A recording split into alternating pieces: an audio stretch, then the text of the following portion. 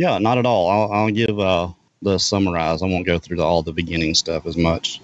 But, you know, essentially, I, I had leased this property from this family for, for seven years, and I was on it day and night. I mean, constantly, at least 300 days a year, I was out there um, doing something, developing it, camping out, uh, whatever. And um, I had actually found where some turkeys were, which I had never found before out there during deer season. And so I went, I found a place I was going to turkey hunt the next turkey season. So I did. I found a nice little clear spot, got it all prepared, and burned it off about a week or so before uh, I'd actually gone out there to hunt. Because turkeys like that. And I think they had actually been in there before I'd come to hunt because I burned it. But I got that particular morning, I got in there early, parked my four wheeler in the front, walked all the way back in there, 800 yards, uh, right at half a mile back to where I was hunting. And I got set up and I'm all camoed out because you got to hide from turkeys. You know, don't even blink because if they see you, it's over, you know. So I, I get set up and I'm, I get had gallberry bushes that I had cut and moved out into this clearing where I'm sitting on this clearing. I always explain it like it's a football field, you know, just to give people a better visual. If you look at this little square like it's a football field, and east east to west are end zones, north to south would be sidelines. The south sideline drops off straight off into a creek bottom. It's like a two tier creek bottom. It drops off into the first level and then it goes for a little while and drops off into the creek bed. And that kind of wraps all the way around the south and then up. It gradually grades up to the east end zone there around the southeast corner. And I'm sitting in the northwest corner where I can see out all the way out across. I can see down the north sideline really well. And I stepped it off to the edge. It was 72 feet from where I was because I needed to know, you know, how far my shot was going to be. So I'm sitting there and I, I start to call and call, probably call for the better part of two hours. And I, I can't, it was a beautiful day. When the sun finally did come up, uh, it was a bright sunny day, March of 07, I don't know, early spring. And I actually got, I'm, I'm hitting this locator, which is something, you know, you shake it, it sounds like a, a young turkey gobbling, and it usually will get bigger gobblers to, to answer back. It's called a locator for that reason. So I'm box call and I got a chirp in my mouth and I'm trying to sound all sexy and and uh, I finally get you know a call back and it's it's another Jake or two. I can tell because Jakes don't finish it. They just kind of halfway gobble and then you know they don't finish it on out.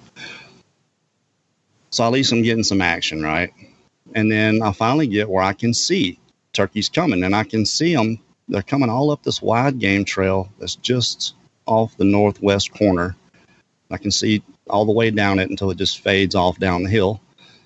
They're coming up the game trail and they're coming all through the woods. There, coming up that little shallow grade. And it's a bunch. I can't tell how many it is at this point, but it's a lot of turkeys, a bunch of hens and, and young jakes. So I'm excited. I actually get my gun up and ready for they're getting close to coming into this little clear spot I've got. Well, when they get probably 30, 40 feet, from coming into the clearing. They stop. and then the ones right there in the front that I could see, they perked their head up and then just gone. They all just exploded out of there to the to the north, to my left. And I mean, I can see it's about 30 turkeys at this point. And I'm upset, you know, obviously. I couldn't believe they had seen me. You know, I was being pretty still. And about the time that I couldn't hear them anymore, I could hear what sounded like somebody, like footsteps, out across from me in that creek bed, that first tier down there. Because there's it's full of deciduous trees. There's dead leaves all over the ground. You know, anything walks through there, you're to hear it. But it sounded slow and like like two legs. So I stood up and I looked, and I didn't really see. At, when I first stood up, I couldn't see, and I remember grabbing the net, the mesh that I had over my face, and I pulled it down over my chin and I'm looking, and they, then I realized that the turkeys had a direct line of sight to whoever that is, or whatever that is down there, and that's what scared the turkeys off. So now I'm kind of aggravated, and then finally I get to see who it is, and it's a black guy, and I can see him just about from the top of his shoulders up. I'm looking through thicket, and he's he's looking at me, and I didn't really dawn on me that uh, that he knew where I was, but he was looking in my direction anyway. And it's probably 130 feet away through the thicket there. And I'm because he's down, you know, on that second tier. And he looks like he's walking really slow, like he's tired, you know, like he's lumbering. And I, what he would do is come up. He would come up close to the edge and he would snap his head and look at me and then look back where he's going. And he'd snap his head and look and look back where he's going. So I'll wave my hand at him like, I'm right here, you know, don't shoot at me. I won't shoot at you. And then I, I think I lost him for a minute there. And he had to have walked away from me at some point. Well, while he was doing that, while I could still hear him out there, there's this huge pine tree behind me. And I plop my back up against it. I put my right foot up on it like I was cool, you know, like Fonzie. and I had my shotgun. I put it, I had a Benelli three and a half inch, 12 gauge automatic, and I had the plug in it, which was abnormal for me. I didn't usually, you know, I was a bit of an outlaw. And that probably just because the gun came with the plug and I never took it out. But I had three shots, eyebrows number four, turkey shot. And I put it down to my left, hand around the grip, and I put my right hand up over the butt, wrapped around just like a boat paddle. That way, and you know, a non-aggressive, I'm not going to shoot at you position. And I could still hear him, and I, I, couldn't tell if he was getting farther away or not, but he had to have. He had to have gone away from me and gone around that point and back up. Because the next time I can really see him, I see him coming up towards me, and and I'm looking at him, and he doesn't look quite right. I, I still didn't attribute it. You know, to me, it's still a guy. He's about to be up close, and I'm about to know exactly what's going on with this guy. And I'm looking, and it looks like he's wearing camouflage. That's what I thought at the time I was like, he's wearing camouflage. His arms were dark, but his body looked like he had on some kind of camouflage. He looked like a really fat black dude wearing a bunch of clothes. Like he had on a thick coveralls and maybe like a camouflage vest or something. You know, I'm thinking amateur. You know, it's, this guy's out here hunting. I'm really upset now because if he's wearing camouflage, he's hunting. This amateur out here doesn't know what he's doing. Probably got lost. You know, these are the things that that uh that I'm working out, what am I going to say to him because he's coming my way. So I'm I kind kind of paying attention to him, you know, looking around and waiting. Like I said, he's like he's lumbering, like he's slumped over and tired, is the impression that I got. Well, about eight feet down that southeast corner, there were two pine trees, 10, 10 inch pine trees, 25 feet tall, half grown, maybe three feet apart from each other and the one on the inside, uh, closest to to the west, he gets about ten feet maybe away from it, and he reaches his hand out to grab it. And I, that was the first real moment that I noticed something was not right, because I could see, I didn't know what I was looking at, but I could see the skin, the dark gray skin on the inside of his arm. The hair was not as thick on the inside of his bicep but his forearm was huge, like a, like an NFL football, was massive. Still, didn't register that this is anything other than a person, but it looks funky. It looks weird.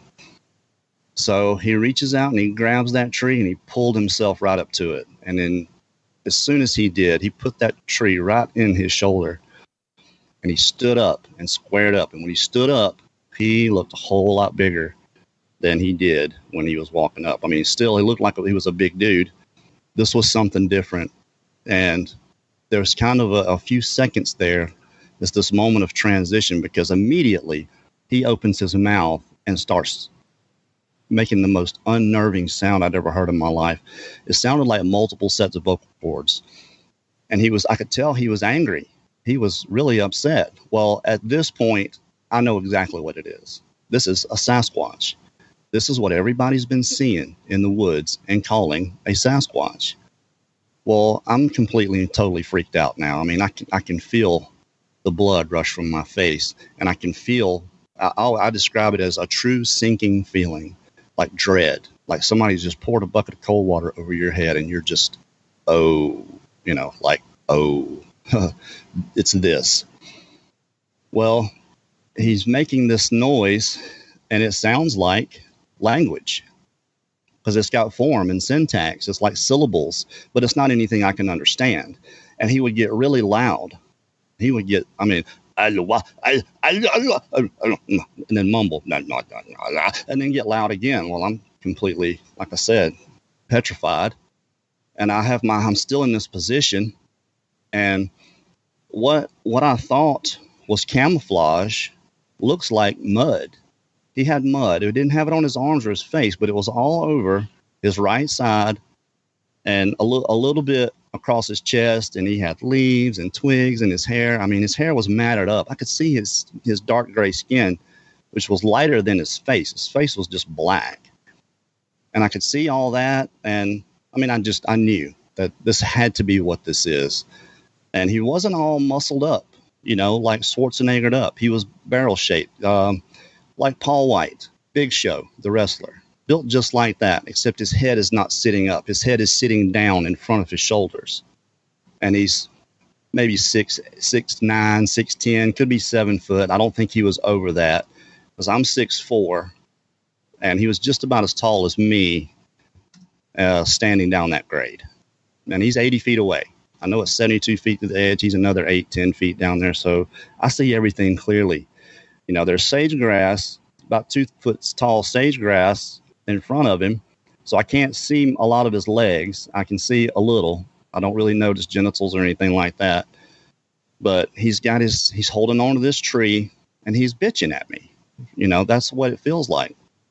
I guess I don't know. I didn't. I knew I wasn't going to run. I, I knew better, I guess, than to do that. And I don't even know if I could have moved at that point. But I think I just I got the nerve to just want to get my hand down on the grip. And all this is happening in just a few seconds. So I start to ease my hand down to get it on the grip of the gun. And when he saw that, he didn't like it. He got really upset. He started rocking back and forth. I mean, really fast rocking back and forth. And he blew at me like it, it wasn't a yell. It was just like, oh, like, no, you know, you're not putting your hand on that gun. He, he saw what I was doing. Well, I think just about the time I got my hand on the grip is when I felt it because it shook me. It shook my spine. It shook my liver. And it startled me. And I guess that was enough for me to move. And I took about three or four quick steps off into that clearing, still looking at him, and I got ready. My gun still pointed at the ground. I didn't point it at him, but I'm there. If he's coming at me, I'm going to be able to shoot him, hopefully hurt him, and then reload while I'm running. You know, this is one of the things that went through my mind. So how am I going to kill this thing? I, you know, I'm going to have to fight this thing all the way out of here if I'm going to make it out because he's that upset with me.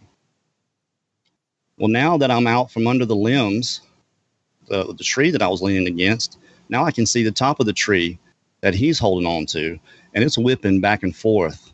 I mean, three people couldn't have done what he was doing to this tree, and he wasn't shaking it. He was just rocking back and forth and still holding on to it. So it was inadvertent. He wasn't just trying to shake this tree, I don't think.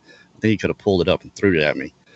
But that really that really scared me. I think that was one of the one of the more terrifying parts was moments of this of all this was seeing him do that and and seeing just how powerful this this thing is and the size of his forearm was so much bigger than his bicep he was just really really misproportioned barrel shaped body. He was as wide at his hips as he was at his shoulders. He was just straight up and down. So i thought it was a fat person uh, essentially. I thought this was just a big 400 pound you know probably six foot three six foot four black dude you know that was out here lost.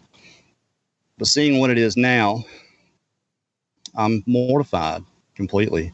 So I'm still standing there, and he stops, rocking back and forth. He rolls his lips back and showed all of his teeth, and stuck his tongue straight out through his teeth, just at a point, straight out, not at me, but just out. And I, I got a good look at his teeth then. He had long canines on top and bottom, not really long, but still longer than his other teeth. And then he, he had a gap right in his two front teeth, like Michael Strahan gap. So that that happened. He went back. He stopped the rocking. He did that. He did that little mumble growl, uh, maybe for a couple more seconds, and then he stopped. He took his hand off the tree and he turned his body to the right. I don't even didn't even to me. I don't. It didn't seem like he had moved his feet at all. He just turned his body and he cocked his head to the side like a dog. Like he's he didn't turn his head. He cocked it to the side while he was quartered to me. Never took his eyes off me. He was looking across his shoulder and down his nose at me. And he took probably three or four steps toward that game trail.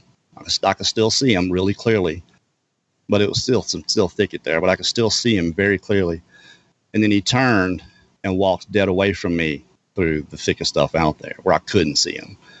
And I could still hear him very intently walking away. He wasn't like he was trying to sneak off. He was taking big steps and walking away. And I'm watching, I'm trying to get, you know, I'm still trying to look, and I keep looking to my left because it feels like there's something, something's telling me to look to my left because there's still some pretty thick stuff right pretty close to me where I was. So he gets, I'd say he gets probably 50, 60 feet down into the bottom. I think he's probably all the way down in that bottom. And that's when he yelled. And when he yelled, it sounded like I describe it as a whip because it was very abrupt. It was a build up and then stop, just wow. And but it was so loud and, and powerful. I mean, once that happened, there was not another sound in the woods. And then once he did that, the why he did that, maybe it's because I was still standing there. I don't know. But I still stood there for quite a while, at least a couple of minutes, maybe maybe not quite that long, but it seemed like a long time because I didn't want to turn my back on him. I didn't want to because I had to leave going the other direction. So finally, I can I start to feel myself breathing. I can take a long deep breath. I start to feel my heartbeat, and I'm starting to get this like tunnel vision, uh, like heat on the periphery, which my wife Linda told me later. Adrenaline will do that to you. It'll it'll give you that kind of uh, that kind of tunnel vision. So I'm pretty sure that's what was happening. But that was the point where I decided, okay, I'm, I turned around and I grabbed my backpack. I walked over and grabbed my backpack and I left everything else laying there. And I took, took a few steps and I stopped and I was going to take the plug out and put two more in it. But I, I decided, no, I don't want to get caught in that position. So I took three shells out of my pocket and put them in my left hand and walked out. I would take really short, quick steps and stop and listen to see if I heard anything following me. We did this the whole way out, and I never, I don't remember a ton of the way out. I remember doing a lot of praying, uh, made made a lot of promises to the good Lord that I've kept to this day. Promised I'd never kill another animal for any reason, not intentionally. I've kept that one. Um, if he would get me out of here, you know, thought soul praying, obviously. But there was still this one place that I was worried about getting by because I always got creeped out there. And I, as I'm walking out, all these things are coming back to me, you know, that had happened. I'm like, this is these things have been out here around me the whole time. That's what this has been, you know. That I'm thinking the voices that I've heard was that which I thought were people coming down the road talking that I'm yelling at. This was them, you know, and nothing else made any sense until you add them to the equation. But I get past this part, this part, and uh, I'm good. And I, it turns and goes up a hill, and about 200 feet, there's my four wheeler well, I get to the crest of this hill and it's starting to open up. I can see my four wheeler, I can see the road, and I'm starting to feel a lot better about making it out. So I stopped and I stopped and I turned around to look.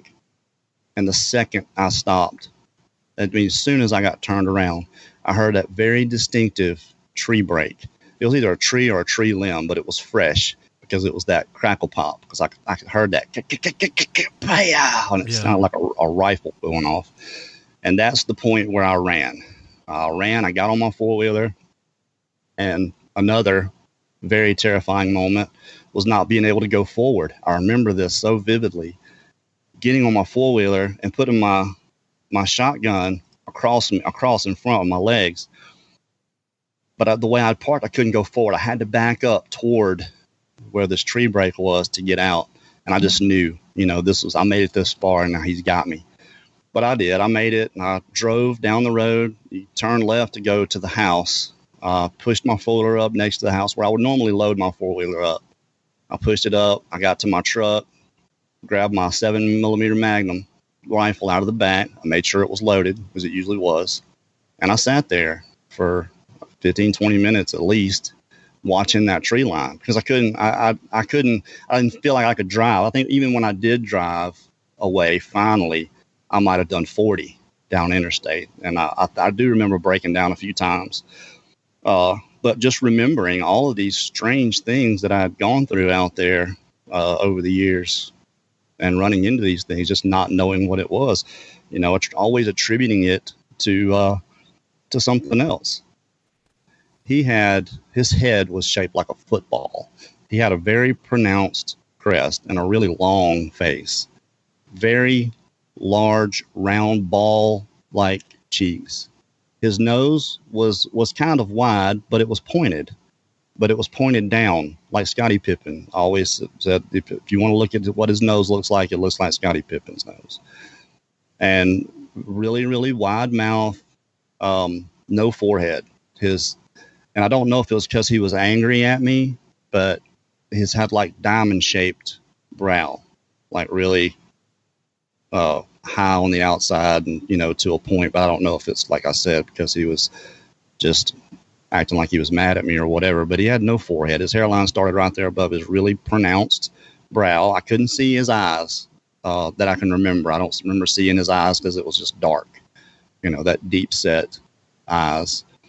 Um, really, really white teeth. At least they were white in contrast to the rest of him because his face was so dark black, like it was grease paint, shiny, shiny black leather looking face. And yeah, just looked like a person essentially. I mean, he's ugly, obviously. He wasn't the prettiest guy in the world, but you know, when you don't have a frame of reference for anything else, this is what my yeah. brain is telling me this is. It's a person until obviously all the rest of the signs added up